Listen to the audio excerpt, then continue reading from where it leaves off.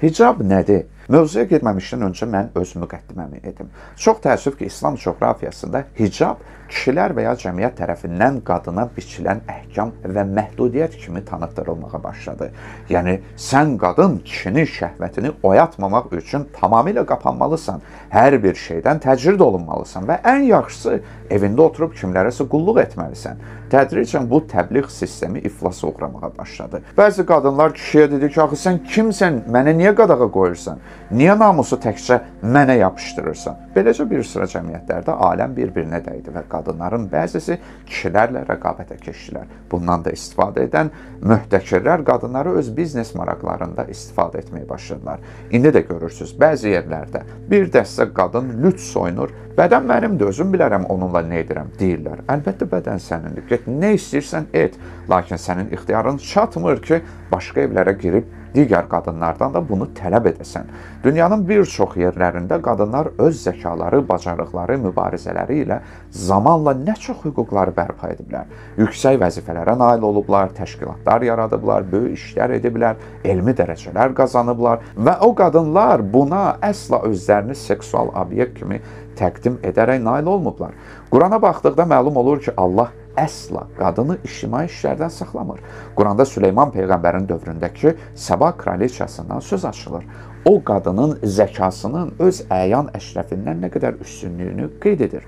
Quranla aşina olanlar bilir ki, Allah qadının özünü alçaldıb seksual obyektə çevirməməsini istəyir. Peyğəmbərin qadınlarına deyir ki, nazlana-nazlana danışmayın, yoxsa qəlbində xəstəlik olanlar sizə tamah salarlar. Yəni qadın manipulyasiya və məqsədi üçün özünü xərcləməməlidir. Məhdudiyyət qoymalıdır. Öz qadınlığını cəmiyyətə qurban verməməli, onu sevdiyi kəs ilə bölüşməlidir. Namus isə kişi və qadının hər ikisinə aiddir. Hicab məfhumu təəssüf ki, bu yöndə yox, sadəcə baş bağlamaq kimi təqdim edildi.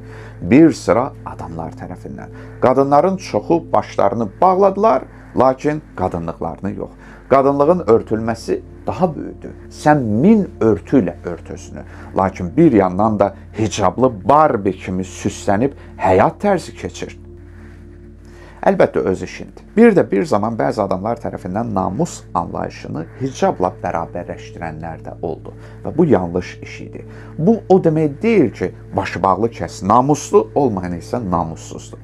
Belə bir bölgü aparmaq yanlışlıqdır. Mənə görə hicab məfhumu qadının yad kişilərdən öz qadınlığını, seksuallığını örtməsi, kənara məhdudiyyət qoymasıdır. Bu məfhumdur. Bunun necə edilməsi isə sonrakı mərhələdir və müxtəlif yerlərdə forması müxtəlif ola bilər. Nəys, hicab lüğətdə maneə, yəni iki şey arasında ayrılıq salan şey deyilir.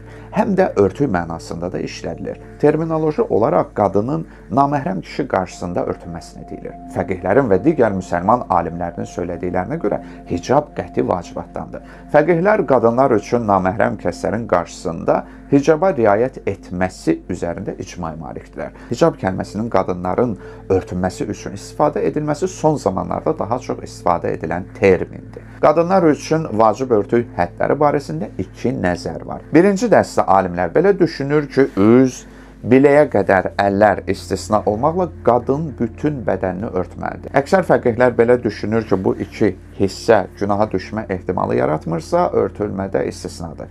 İkinci dəstə alimlər belə düşünür ki, xeyr, qadın bütün bədənini örtməlidir, hətta üzlərini, əllərini də. Yəni mənim söylədiyim nəzərlərin şiə sünnisi yoxdur ya. Mən müsəlman alimlərinin yekdil nəzərlərini deyirəm. Yaxşı, bəs bunu nəyə əsasən deyirlər? Fəqihlər hicabın vacibliyi hökmü üçün bir sıra dəlillərə istinad ediblər. Ən əsas dəlillərdən biri Quranın Nur surəsinin 31-ci ayəsidir. Bu ayə hicab ayəsi də deyilir. Həm də deyilib ki, ayənin nazil olması ilə qadınlara hicab vacib edildi. Ayədə deyilir: "Mömin qadınlara de ki, gözlərini aşağı diksinlər, yəni haram məqsədlə naməhrəmə baxmasınlar və cinsiyyət üzvlərini qorusunlar, yəni namuslarını qorusunlar." Qoy onlar adi şəkildə görünənlər istisna olmaqla öz zinətlərini nümayiş etdirməsinlər. Burada zinətin nə hesab edilməsi barədə fərqli fikirlər var, buna toxunacağam. Təəssüf ki, bu ayənin detallı təhlili və fərqli fikirlərin hamısını qeyd etmək ayrı videonun işidir. Sonra deyilir, örtüklərini yaxalarının üstünə salsınlar. Ayədəki xumra ifadəsinin barəsində də nəzərlər var. İndi istisnalara keçirik. Zinətlərini ərlərindən, yaxud atalarından, yaxud ərlərinin atalarından, yaxud öz oğullarından, yaxud ərlərinin oğullarından, yaxud qardaşlarından, yaxud qardaşlarının oğullarından, yaxud bacılarının oğullarından, yaxud öz qadınlarından. Aha, bu öz qadınlarından ifadəsi də düşüncəyə səbəb olub. Ona görə də bir sıra alimlər buradan məqsəd müsəlman qadınları olduğunu deyiblər. Yəni qeyri-müsəlman qadın yanında bir müsəlman qadın örtüyə riayət etməlidir. Yaxud sahib olduqları kənizlərdən, yaxud cinsi istəyini itirmiş kişi xidmətçilərdən, yaxud qadınların övrət yerlərini hələ anlamayan uşaqlardan başqasına göstərməsinlər. Gizlətdikləri zinət əşyaları bilinsin deyə ayaqlarını vura-vura yeriməsinlər. Ey iman gətirənlər, hamınız Allaha tövbə edin ki, bəlkə nicat tapasınız. Bəzi alimlər bu ayədə illə mə zahara minhə, yəni adətən görünən yerlər istisna olmaqla ifadəsini əsas tutub, qadının üzünün və biləyə qədər əllərinin örtülməsinin istisna olduğunu deyiblər.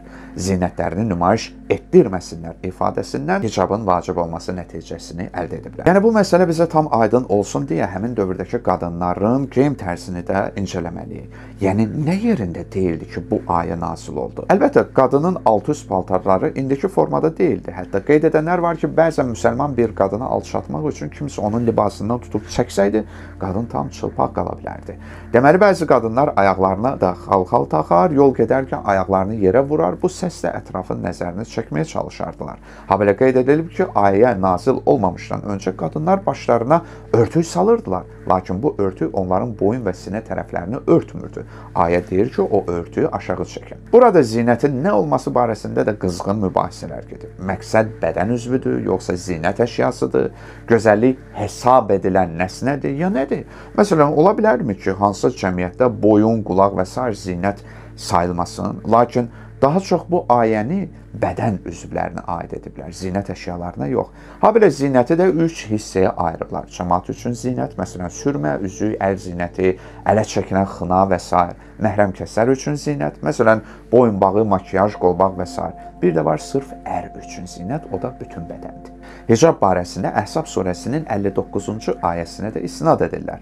Buna cilbab ayəsi də deyilir. Ayədə qadınlardan istənilir ki, üzərlərinə cilbab açsınlar. Cilbabın nə olması da müzakirələrə səbəb olub. Lüğət alimləri deyib ki, bu cilbab baş örtüyündən böyük ridadan, yəni plaş əba kimi geyimdən kiçikdir. Qadınlar onu üzərlərinə atırdılar ki, sinələri örtülsün. Müasir dövrdə müxtəlif İslami ölkələrdə hicabın fərqli formaları var. Məsələn, bəzi ölkələrdə bu çadradır, bəziləri ərəb çadrasından yaxud əbadan istifadə edirlər. Hind və Pakistan kimi yerlərdə qadınlar dupata adlı ənənəvi libas geyinirlər. İndoneziyada enli pencək və ya paltardır. Əfqanistanda burqadan istifadə edirlər. Türkiyədə mantodan daha çox istifadə edirlər. Yəni bu cilbab və müsəlman qadınlarının geyim tərzi müxtəlif İslam ölkələrində müxtəlif cür formalardadır. Bəzi müsəlman ölkələrində isə qadınlar çölə çıxarkən hətta üzlərini də, əllərini də örtürlər. Elə müsəlman ölkələri də var ki, orada qadınların qanunla tənzim olunan şəkildə örtülməsi zəruri və vacibdir.